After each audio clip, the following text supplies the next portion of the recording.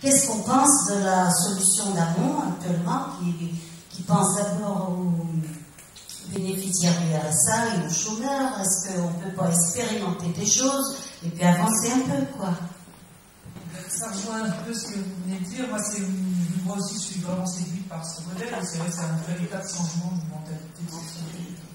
Mais comment on y va Et euh, c'est vrai que y aller euh, progressivement à la amont en disant on va faire un petit peu pour certains, partiellement, etc.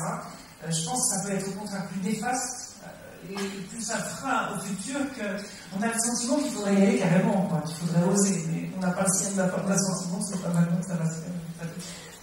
Cette, idée d'enthousiasme, forcément, moi j'étais plutôt pour carrément, et dans les débats il y a 2-3 ans, je parlais plutôt de 2000 euros, parce que j'aimerais ce soit l'an zéro et tout le monde arrête, et qu'on se pose des questions, et qu'on se reprenne doucement, une fois qu'on a arrêté, et qu'on se remette doucement à produire ce dont on a vraiment besoin de la. Bon, là, il faut mettre les pieds sur terre, regarder la proposition de Hamon, et là, du coup, je ne parle plus en tant que mouvement français pour le revenu de base, parce que là, on ne se positionne pas politiquement, on a juste dit que ce n'est pas un revenu de base. Après, je pense que c'est une bonne idée dans la mesure où il y a besoin, on l'a dit, de réfléchir, de poser la question à tout le monde, que chacun se pose. Et donc, le fait de commencer à l'introduire, le fait surtout, je pense, le truc important là, concrètement, c'est de profiter de 2018. 2018, on passe sur le prélèvement à la source. Donc forcément, c'est des mécanismes à changer en termes fiscaux. Du coup, euh, là, sur cette proposition, si on profite de ça, et dès le prélèvement à la source, on verse 600 euros effectivement en dessous de 2000 et quelques exactement. Voilà, et on prend 38% en fait du, du, du revenu brut. Ce qui fait qu'on se retrouve grosso modo à changer un tout petit peu la courbe. On va prendre la courbe des salaires comme ça, parce que pendant un choc, elle va, elle va se retrouver comme ça. Voilà. En sachant que là on a zéro, on a quelque chose du coup à la place. Voilà, ça diminue comme ça jusqu'à 2000 et quelques. Là, ça, ça, c'est-à-dire qu'on on, on, on, rehausse tout de suite un peu les revenus.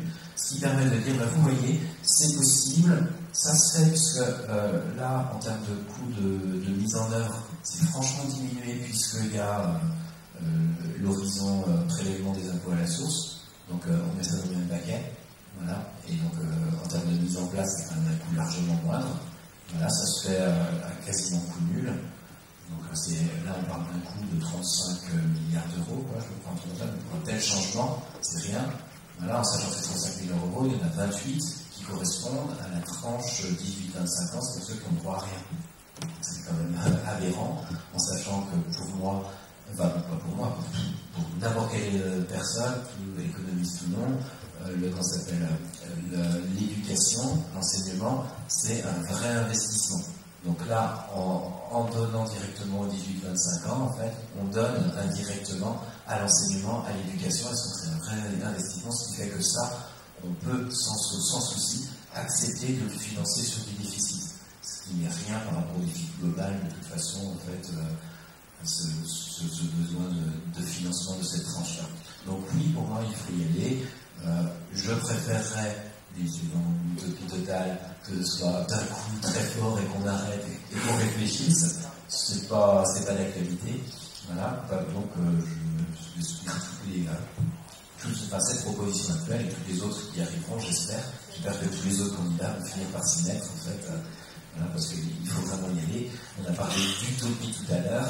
Euh, l'utopie, il ne faut jamais oublier, tout le monde connaît cette phrase, euh, pour dire que l'utopie, c'est juste un, avenir désirable qui n'est pas encore réalisé. C'est juste ça, c'est valable. Il ne faut pas, se laisser dire que l'idée d'un revenu de base, en fait, est une utopie, même si l'utopie c'est beau, parce que derrière, l'utopie, on pense euh, pas pragmatique, irréaliste et tout ça. Or, c'est le contraire. C'est irréaliste de penser qu'une société peut bien fonctionner si on laisse de côté euh, énormément de la population.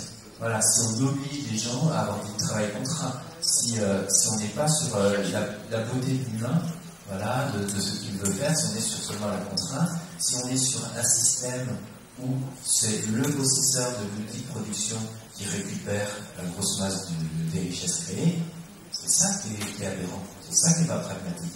On va c'est pragmatique de distribuer un minimum l'ensemble des richesses produites. Pour moi, c'est complètement euh, aberrant de penser que les richesses produites euh, sont juste dépendants d'une personne. Si un grand capitaine d'industrie a énormément d'argent, c'est parce qu'il y a toute la société derrière, et pas seulement ses employés. Il y a les infrastructures, il y a les, les aînés qui ont construit tout ça, il y a aussi énormément la nature qui a fourni, parce que de toute façon, on a besoin d'énergie, de matières premières, et ça, à la base, ça ne devrait pas tout le monde. Voilà, c'est aberrant, c'est complètement idiot, et ça se casse la gueule, on voit tous les jours, une société où on dit, bah, c'est telle personne qui a créé ces richesses. Non, c'est tout le monde. Tous les humains, mais aussi la planète, mais aussi la vie, tout directement. Donc il semble normal de redistribuer un peu de pouvoir à tout le monde au lieu de le concentrer sur quelques personnes.